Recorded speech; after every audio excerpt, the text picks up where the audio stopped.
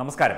കേരളത്തിലും കർണാടകയിലും തമിഴ്നാട്ടിലുമൊക്കെ I S സാന്നിധ്യം അല്ലെങ്കിൽ ഐ എസ് ഭീകരർ ഇവിടെ റിക്രൂട്ട്മെന്റുകൾ നടത്താൻ ശ്രമിക്കുന്നു അല്ലെങ്കിൽ ഐ എസ് ഭീകരവാദികൾ ഇവിടെ സ്ത്രീകളടക്കമുള്ളവർ ഇവിടെ കേരളത്തിൽ പ്രത്യേകിച്ചും കേരളത്തിൽ പല തരത്തിലുള്ള രാജ്യവിരുദ്ധ തീവ്രവാദ പ്രവർത്തനങ്ങൾ ഏർപ്പെട്ടുകൊണ്ടിരിക്കുകയാണ് പ്രവർത്തനങ്ങളിൽ ഏർപ്പെട്ടുകൊണ്ടിരിക്കുകയാണ് എന്ന ഐക്യരാഷ്ട്രസഭയുടെ റിപ്പോർട്ട് കഴിഞ്ഞ ദിവസം പുറത്തു വന്നിരുന്നു. അതിന്റെ ഫോളോ അപ്പ് സ്റ്റോറികളും അതിന്റെ വിശദാംശങ്ങളും ഒക്കെ തന്നെ ഇവിടെ വാർത്തകളായി നൽകിയിരുന്നു. പക്ഷേ കേരളത്തിലെ ഭീകരവിരുദ്ധ സ്ക്വാഡോ കേരളത്തിലെ ആഭ്യന്തര വകുപ്പോ ഒന്നും തന്നെ ഈ ഒരു വിഷയത്തിൽ വലിയ പ്രതികരണമൊന്നും നടത്തിക്കണ്ടില്ല. അവർ അത് സാധാരണഗതിയിലുള്ള ഒരു വാർത്തയായി തള്ളിക്കളയുകയായിരുന്നു. പക്ഷേ K C B C Kerala Catholics bishop council K C B C ഈ ഒരു വിഷയത്തിൽ ശക്തമായ പ്രതിഷേധം രേഖപ്പെടുത്തിയിട്ടുണ്ട്. കെ സി ബി സിയുടെ മാഗസിനായ സത്യദീപം ഈ ഒരു വിഷയത്തിൽ വലിയ ഒരു ആശങ്കയാണ് രേഖപ്പെടുത്തിയിരിക്കുന്നത്. ഇത്തരത്തിലുള്ള ഭീകര സാന്നിധ്യം രാജ്യത്തിന്റെ അഖണ്ഡതയും രാജ്യത്തിന്റെ സമാധാനവുമൊക്കെ തച്ചു തകർക്കും എന്ന രീതിയിൽ വളരെ കാര്യമായ ഒരു ലേഖനവും അതിന്റെ വിശദാംശങ്ങളുമാണ് സത്യദീപം പ്രസിദ്ധീകരിച്ചത്. ഈ ഒരു വിഷയത്തിൽ തീർച്ചയായും സത്യദീപത്തിന്റെ ആ സത്യദീപം പ്രസിദ്ധീകരിച്ച ആ റിപ്പോർട്ടുകൾ തീർച്ചയായും നമ്മൾ പരിഗണിക്കേണ്ടതാണ്. നമ്മുടെ സർക്കാർ സംവിധാനങ്ങൾ കൂടുതൽ ശ്രദ്ധിക്കേണ്ടതാണ്. നമ്മളും നേരത്തെ ഈ ഒരു ആശങ്കയിൽ ഒക്കെ രേഖപ്പെടുത്തിയിരുന്നു. ഏതാണ്ട് അതിന് സമാനമായ ആശങ്കയാണ് കെ സി ബി സിയും ഈ ഒരു വിഷയത്തിൽ രേഖപ്പെടുത്തിയിരിക്കുന്നത്. അതാണ് ഈ വാർത്തയ്ക്ക് ആധാരം. കേരളത്തിലും കർണാടകത്തിലും ഐ എസ് സാന്നിധ്യം ശക്തമാണെന്ന യു എൻ റിപ്പോർട്ടിനെ പിന്തുണച്ച് കത്തോലിക്ക പ്രസിദ്ധീകരണമായ എറണാകുളം അങ്കമാലി അതിരൂപതയുടെ മുഖപത്രം സത്യദീപം. സത്യദീപം മുഖപ്രസംഗമാണ് എഴുതിയിരിക്കുന്നത്. ഐ എസിന്റെ കേരള മോഡൽ എന്ന തലക്കെട്ടിലാണ് സത്യദീപം മുഖപ്രസംഗം എഴുതിയിരിക്കുന്നത്. ഇങ്ങനെയാണ് അതിന്റെ പ്രസക്ത ഭാഗങ്ങൾ. നോക്കാം. ഇന്ത്യൻ രഹ- രഹസ്യാന്വേഷണ ഏജൻസികളും എൻ ഐ എയും മുൻപ് നടത്തിയ വെളിപ്പെടുത്തലുകൾ ശരിവെക്കുന്നതായി ഹിന്ദ് വിലായ എന്ന പേരിൽ നേരത്തെ തന്നെ ഇന്ത്യയിൽ സജീവമായ ഭീകര സംഘടനയുടെ പ്രവർത്തന വൈപുല്യം. രണ്ടായിരത്തി പത്തൊൻപത് മെയ് പത്തിലെ സംഘടനയുടെ പ്രഖ്യാപനം പ്രഖ്യാപനമനുസരിച്ച് നൂറ്റി എൺപതിനും ഇരുന്നൂറിനും ഇടയ്ക്ക് അംഗങ്ങൾ മൂന്ന് ഘടകങ്ങളായി തിരിഞ്ഞ് കേരളത്തിലെ തങ്ങളുടെ പ്രവർത്തന മേഖല വിന്യസിച്ചിട്ടുണ്ട് എന്നാണ് റിപ്പോർട്ടുകൾ.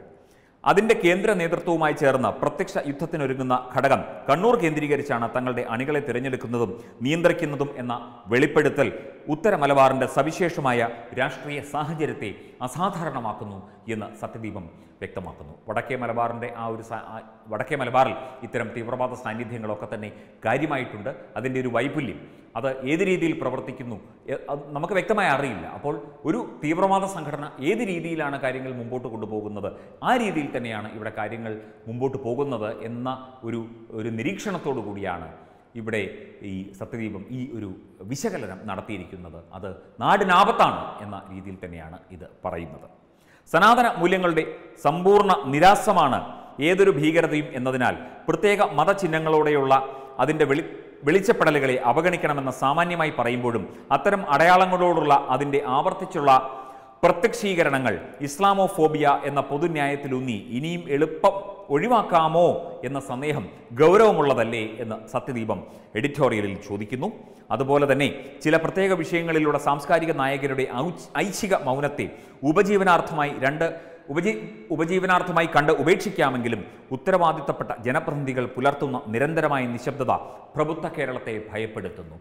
ഈ വിഷയങ്ങളിലൊക്കെ തന്നെ സാംസ്കാരിക കേരളം എന്ന് പറയുന്ന അല്ലെങ്കിൽ സാംസ്കാരിക നായകർ എന്ന് പറയുന്ന ഒരു സമൂഹമുണ്ടല്ലോ. സാംസ്കാരിക നായകർ എന്നൊന്നും പറയാൻ പറ്റില്ല. സാംസ്കാരിക നക്കികൾ എന്നേ പറയാൻ പറ്റൂ. അപ്പോൾ ഇവർ പ്രതികരിക്കാതിരിക്കുന്നത് അതവിടെ നിൽക്കട്ടെ. അവർ പ്രതികരിക്കേണ്ട. അവിടെ നിന്നോട്ടെ. പക്ഷേ ഇവിടെ ഉത്തരവാദിത്വപ്പെട്ട സർക്കാർ സംവിധാനങ്ങളിലും ജനങ്ങളുടെ പ്രതിനിധികളായി വർത്തിക്കുന്നവരും തുടരുന്ന ആ ഒരു കുറ്റകരമായ മൗനം നമ്മുടെ നാടിനെ ഭയപ്പാടിലാഴ്ത്തുന്നു എന്ന നിരീക്ഷണമാണ് സത്യദീപം എഡിറ്റോറിയലിലൂടെ നടത്തിയിരിക്കുന്നത്. തുർക്കിയിലെ ഹഗ്യ സോഫയുടെ തലവര മാറ്റിയ പ്രസിഡന്റ് തൊയ്ബ് എർദോഗന്റെ പ്രഖ്യാപനത്തെ മതേതര പാരമ്പര്യത്താൽ പെരുമ നേടിയ പാണക്കാട് തറവാട് സ്വാഗതം ചെയ്ത വിധം സാംസ്കാരിക കേരളത്തെ അമ്പരപ്പിച്ചു എന്ന് പറയുന്നു. മ്യൂസിയത്തെ പള്ളിയാക്കിയതിലുള്ള ന്യായീകരണമായി അത് ചെറുതായി എന്നതിലല്ല മതേതര രാഷ്ട്ര മതരാഷ്ട്രമായി മാറിപ്പോയതിനെ വെറും വെറുമൊരു ആരാധനാ സ്വാതന്ത്ര്യമായി അവഗണിച്ചു എന്നതിലാണ് പാണക്കാട്ടെ പ്രതികരണം പ്രതിലോമകരമായി പോയത് എന്ന് പറയുന്നു. കലയുടെയും ചരിത്രത്തിന്റെയും അമൂല്യ സൂക്ഷിപ്പുകൾ അടങ്ങിയ ഒരു സാംസ്കാരിക പേ പേടകമാണ് പേരുമാറി മസ്ജിദ് ആയത് എന്ന സാംസ്കാരിക കേരളം മറന്നുപോയോ? ആ ചൂടുമാറ്റത്തിന്റെ ചുവട്ടിൽ ഒരു വിയോജനക്കുറിപ്പെഴുതാൻ കേരളത്തിലെ എണ്ണം പറഞ്ഞ ഒരു സാംസ്കാരിക ഒരു സാംസ്കാരിക നായകരും എത്തിയില്ല എന്നതും അപകട സൂചന നൽകുന്നു എന്നുള്ളതാണ്. ശ്രീ എം എൻ കാരശ്ശേരി കാരശ്ശേരി മാഷി ഒരു വിഷയത്തിൽ വളരെ ശക്തമായി തന്നെ പ്രതികരിച്ചിരുന്നു. അദ്ദേഹം മാത്രമാണ് സാംസ്കാരിക മേഖലയിൽ നിന്ന് അല്ലെങ്കിൽ ധൈഷണിക മേഖലയിൽ നിന്ന് ഈ ഒരു വിഷയത്തിൽ ഹഗ്യ സോഫിയ വിഷയത്തിൽ പ്രതികരിച്ചത്. ഈ ഒരു കാര്യം കൂടി സത്യദീപൻ ചൂണ്ടിക്കാട്ടുന്നുണ്ട്. ഐ എസ് കേരളത്തിൽ എന്ന വാർത്തയുടെ യു എൻ സ്ഥിരീകരണം യഥാർത്ഥത്തിൽ അസ്ഥിരമാക്കുന്നത് മലയാളത്തിന്റെ മഹത്തായ മര്യാദയെയാണ് മതേതര മര്യാദയെയാണ്.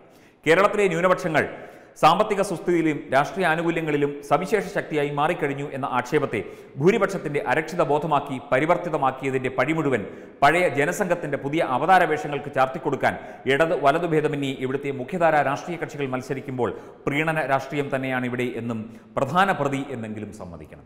ശരിക്കും പ്രീണന രാഷ്ട്രീയത്തിന്റെ മറവിൽ അല്ലെങ്കിൽ ബി ജെ പിയോ സംഘപരിവാർ സംഘങ്ങളെയോ കുറ്റപ്പെടുത്തി പഴിചാരി മാറ്റി നിർത്തുന്ന രീതിയിലേക്ക് എത്തിയിട്ട് ഇവിടെ ന്യൂനപക്ഷങ്ങളെ പ്രീണിപ്പിക്കുന്ന തരംതാണ രാഷ്ട്രീയമാണ് ഇവിടുത്തെ ജനപ്രതിനിധികളും ഇവിടുത്തെ രാഷ്ട്രീയക്കാരും സർക്കാരും കാണിക്കുന്നത് എന്ന ഒരു വളരെ വളരെ കാര്യമായൊരു വിമർശനമാണ് സത്യദീപത്തിൽ നമുക്ക് കാണാൻ കഴിയുന്നത്. ഏറ്റവും ഒടുവിൽ നയതന്ത്ര ചാനലിലൂടെ കടത്തിയ സ്വർണത്തിന്റെ ലാഭവിഹിതം ദേശവിരുദ്ധ ശക്തികളുടെ കൈകളിലെത്തിയോ എന്ന യു പി എയുടെ പരിധിയിൽ യു എ പി എയുടെ പരിധിയിൽ ഉൾപ്പെടുത്തി എൻ ഐ അന്വേഷിക്കുമ്പോൾ ഭീകരപ്രവർത്തനത്തിന് അടിവളമാകാൻ കേരളത്തിന്റെ സവിശേഷമായ മുന്നണി രാഷ്ട്രീയ കാലാവസ്ഥ അനുകൂലമാകുന്നുണ്ടോ എന്ന് പരിശോധിക്കണം എന്ന് പറയുന്നുണ്ട്. അതുപോലെ തന്നെ സ്വത്വ രാഷ്ട്രീയത്തെക്കുറിച്ച് ഒക്കെ തന്നെ വിശദമാക്കുന്നു. എല്ലാവരുടെയും കണ്ണ് വോട്ട് ബാങ്ക് തന്നെയാണ്. ജനാധിപത്യത്തിൽ അത് സ്വാഭാവികമാണെന്ന പി ഒ സി ഡയറക്ടറും K C B C deputy സെക്രട്ടറിയുമായ ഫാദർ വർഗീസ് വള്ളിക്കാട്ട് അടുത്ത കാലത്ത് ഒരു ലേഖനം എഴുതിയിരുന്നു. അപ്പോൾ സത്യദീപത്തിന്റെ എഡിറ്റോറിയലിൽ ഇപ്പോഴത്തെ നമ്മുടെ ഈ ഒരു പൊതുബോധത്തിന്റെ ഈ ഒരു കാലഘട്ടത്തിലെ നമ്മുടെ രാജ്യം നേരിടുന്ന പ്രശ്നങ്ങളുടെ പ്രശ്നങ്ങളെ ഒരു പൊതുബോധത്തിന്റെ വീക്ഷണകോണിൽ നിന്നാണ് സത്യദീപം നോക്കിക്കാണുന്നത്. പലതും പലരുടെയും തലയിൽ ചാരി വയ്ക്കുമ്പോഴും അവനവൻ ഒരു കറുത്ത തുണി മുഖത്ത് മൂടിയിട്ട് മുഖം മറച്ച് മുഖം മൂടിയോടുകൂടിയാണ് നിൽക്കുന്നത് എന്നുള്ള യാഥാർത്ഥ്യം. ആ ഭീകരതയുടെ മുഖം മൂടി ആ ഒഴിവാക്കലിന്റെ ആ നിഷ്കാസനത്തിന്റെ മുഖം മൂടി അല്ലെങ്കിൽ ഞാനെന്ന് പറഞ്ഞില്ലേ രാമനാരായണ എന്ന് പറയുന്ന ആ മുഖം മൂടി അണിഞ്ഞു നിൽക്കുന്ന ഒരു സമൂഹത്തെയാണ് അല്ലെങ്കിൽ ആ വരേണ്യവർഗത്തെ അല്ലെങ്കിൽ ഭരണ ഭരണ സമൂഹത്തെയാണ് കാണാൻ കഴിയുന്നത് എന്നുള്ള കാര്യമാണ് ഈ ഒരു ലേഖനത്തിൽ കെ സി ബി സിയുടെ എറണാകുളം അങ്കമാലി അതിരൂപത മുഖപത്രമായ സത്യദീപത്തിന്റെ ഈ ലേഖനത്തിൽ ചൂണ്ടിക്കാട്ടുന്നത്. ഈ ലേഖനം ഇപ്പോൾ അതിലെ വാക്കുകളും അതിലെ കാര്യങ്ങളൊക്കെ തന്നെ എല്ലാവർക്കും പെട്ടെന്ന് മനസ്സിലാകണമെന്നില്ല. അല്പം സാഹിത്യവും ഒക്കെ കലർത്തി എഴുതിയ വാക്കുകളാണെങ്കിലും അതിലെ ആ ഒരു പ്രതിബിംബം നമുക്ക് കാണാൻ സാധിക്കും. നമ്മുടെ നാട് അപകടത്തിലേക്കാണ് പോകുന്നത്. നമ്മുടെ നാട്ടിൽ പലതും ഇനി ഭീകരത തഴച്ചു വളരാൻ ഉള്ള വളമായി നമ്മുടെ നാട് അങ്ങനെയുള്ളൊരു മണ്ണായി കേരളം മാറുന്നു എന്ന ഒരു മുന്നറിയിപ്പ് കൂടിയാണ് സത്യദീപം എന്ന മാഗസിൻ നൽകുന്നത്. തീർച്ചയായും ചിന്തിക്കേണ്ട കാര്യമാണ്. നമ്മൾ ജനങ്ങൾ ചിന്തിക്കേണ്ട കാര്യമാണ്. ഇവിടെ മതമല്ല വിഷയം മനുഷ്യനാണ്. മനുഷ്യനാണ് ജീവിതമാണ്. ഇതൊക്കെയാണ് പ്രധാനപ്പെട്ട വിഷയങ്ങൾ. അതിനെ മതവുമായി കൂട്ടിക്കലർത്തി അതിന് ഭീകരതയുടെ കറുപ്പ് നിറം നൽകരുത് എന്ന് പറഞ്ഞുകൊണ്ടാണ് സത്യദീപത്തിന്റെ ഈ എഡിറ്റോറിയൽ പൂർത്തിയാകുന്നത്. തീർച്ചയായും ചിന്തിക്കണം. ചിന്തിക്കണം വേണ്ട നടപടികൾ അധികാരികൾ സ്വീകരിക്കണം. അതുമാത്രമേ പറയാനുള്ളൂ. Web desk Tatwamayi news. നമസ്കാരം. കോവിഡിന്റെ ദുരിതകാലത്തെ സംഗീത സാന്ദ്രമാക്കിയ ഇരുപത് ഗായകർ. സംഗീത പ്രതിഭകൾ മാറ്റുരച്ച തത്വമയി ലോക്ക്ഡൌൺ കോൺടസ്റ്റിലെ വിജയികൾ ആരൊക്കെ? കാത്തിരിക്കുക. ഫലപ്രഖ്യാപനം ഓഗസ്റ്റ് രണ്ട് ഞായറാഴ്ച. നാളെ വൈകുന്നേരം ഏഴ് മണിക്ക്.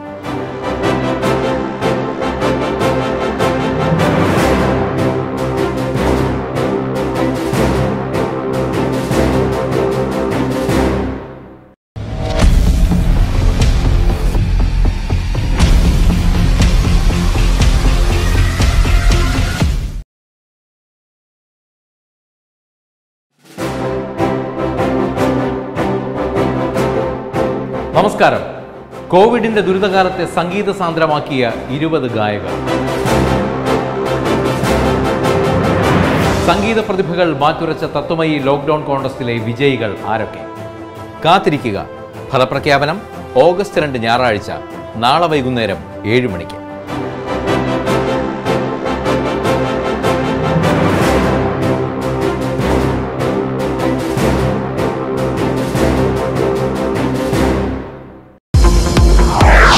വാർത്തകളുടെ വ്യക്തവും കൃത്യവുമായ ആവിഷ്കാരം. കാലത്തിനൊപ്പം സഞ്ചരിക്കുന്ന സാങ്കേതിക തികവോടെ. ദേശീയതയിലും രാജ്യസ്നേഹത്തിലും ഊന്നിയ സത്യസന്ധമായ വാർത്താ സംസ്കാരം. മാധ്യമ നൈതികതയുടെ കലർപ്പില്ലാത്ത ആശയ സംവേദനം. സമരസപ്പെടലുകളില്ല സത്യം മറച്ചു പിടിക്കുകയില്ല. വാക്കുകളോ വാക്യങ്ങളോ മുറിക്കുന്നില്ല മാറ്റിവെക്കുന്നുമില്ല ശീതീകരിച്ച ന്യൂസ് റൂമുകൾ നിങ്ങളുടെ സ്മാർട്ട് ഫോണുകളിലേക്കും കമ്പ്യൂട്ടർ ശൃംഖലകളിലേക്കും